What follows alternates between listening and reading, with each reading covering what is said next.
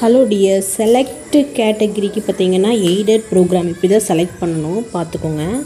So உங்களுக்கு வந்து இந்த தடவை நியூ மாடலில் வந்திருக்கு. ஸோ வியூ ப்ரோக்ராம்னு வச்சுட்டு வியூ ப்ரோக்ராமில் வச்சுட்டு உங்களுக்கு என்னென்னலாம் செலக்ட் பண்ணுமோ அதை செலக்ட் பண்ணிக்கணும். இங்கே பாருங்கள் இந்த மாதிரி தான் செலக்ட் பண்ணணும்.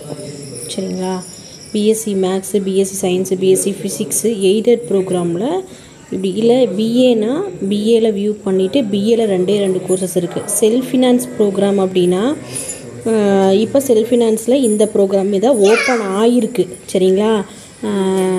ஸோ நீங்கள் அதுக்கு தகுந்த மாதிரி நீங்கள் பார்த்துக்கோங்க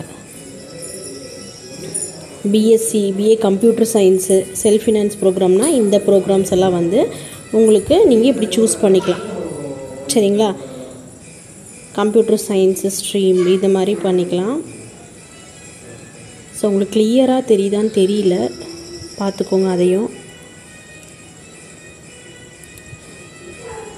பிஎஸ்சி எய்டட் இப்போ நான் இதெல்லாம் செலக்ட் இது பண்ணியிருக்கிறேன். அப்புறம் ஹியர் பை டிக்ளேர் கொடுத்துருங்க.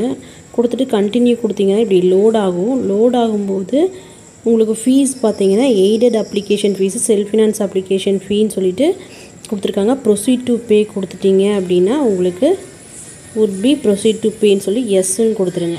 சரிங்களா? ஆன்லைன் கண்டிஷன் வந்து பார்த்தீங்க அப்படின்னா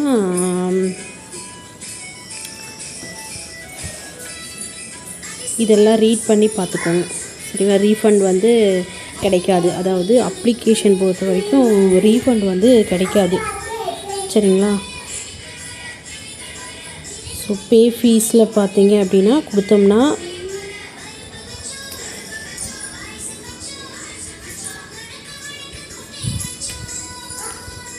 ப்ளீஸ் வெயிட் அப்படின்னு சொல்லிட்டு லோட் ஆகுது.